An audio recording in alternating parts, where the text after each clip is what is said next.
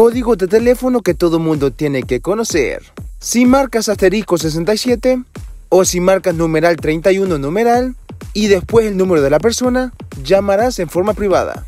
Ahora si marcas asterisco numeral 62 numeral y aprietas llamar, puedes verificar si te están hackeando el teléfono y verifica que todas las funciones estén desactivadas. Y por último, y el más importante, aprieta asterisco 3370 numeral y después pones el número de teléfono.